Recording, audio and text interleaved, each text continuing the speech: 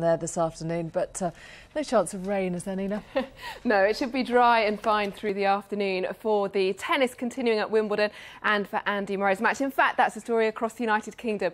We've got a good deal of sunshine around. If we take a look at the satellite picture to begin with, though, it was clear and chilly, but we have been seeing that cloud increasing. And in fact, at times, the cloud will just tend to bubble up, and we may just see one or two light showers in one or two places, especially through Cornwall for the afternoon. But it is the exception exception rather than the rule. A slightly cloudier afternoon, but still bright across much of Wales.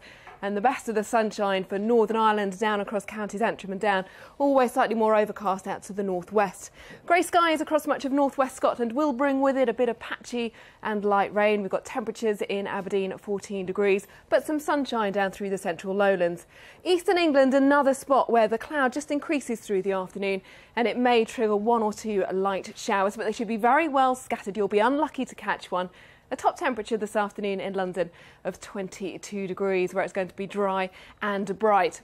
This evening and overnight tonight, still a few showers in the east, but generally they fade away and it's going to be dry. We've got clear spells, but with that, not quite as cold as it was last night. For Scotland and Northern Ireland, temperatures just dipping down into double figures in places 8 or 9 degrees, and we're holding up at around 11 Celsius through parts of Wales and southern England. As for the weekend, well, it should be dry with plenty of sunshine around. A touch warmer, temperatures creeping up a few degrees, but not the real heat of last weekend. However, we are going to have high or very high levels of pollen right the way across the country. On to the detailed forecast then for the weekend, beginning with Saturday.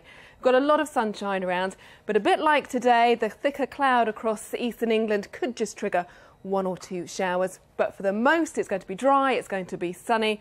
As for those temperatures, around 17 or 18 for Scotland and Northern Ireland.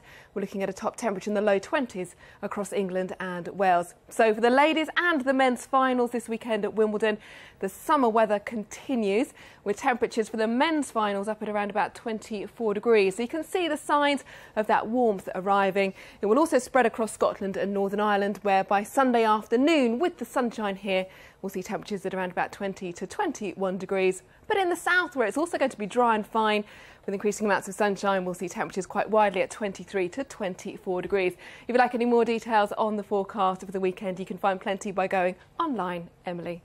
Nina, thanks very much indeed.